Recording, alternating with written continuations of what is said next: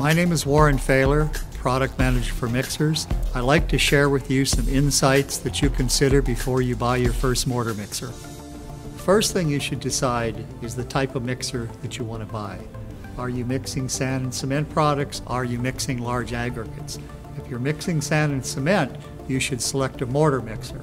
A mortar mixer is one with rotating blades, where a concrete mixer has a rotating barrel. The Whiteman mixer is the preferred mixer in the industry because of its reliability. The Polytub, which Multiquip developed many years ago, has dramatically gained popularity. It's easy to clean, it saves the rental yards a lot of money.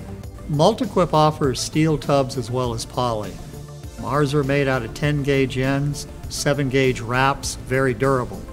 With the Whiteman system, you grease it, and any material that gets trapped in the seal system, you purge it back in the tub rather than contaminating the bearing. We also feature a weep hole, so if the seals do fail, you'll see a little trickle of mud outside the tub to tell you it's time to replace the seals. Safety is utmost importance. Grates have to abide by OSHA, which is the 4x4 openings. They must completely cover the tub the mixer itself is constructed to ANSI standards and is approved for towing.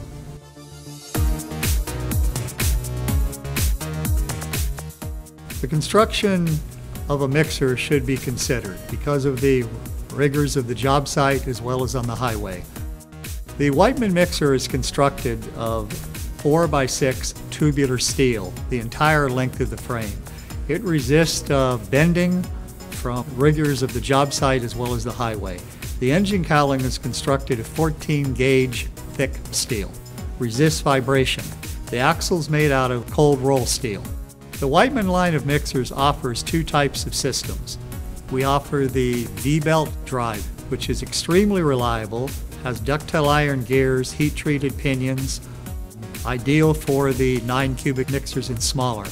The larger mixer, 12 cubic foot, is the ultimate in reliability hydraulic drive, very few moving parts.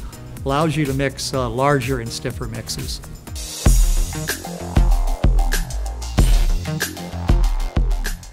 Multiquip offers a wide variety of power. The general rule of thumb is to use the larger horsepower because it can mix over a wide variety of mixes. The Whiteman mixer is proved to be extremely durable on job sites and it lasts you for years. That's one of the reasons it's the number one choice for the rental industry.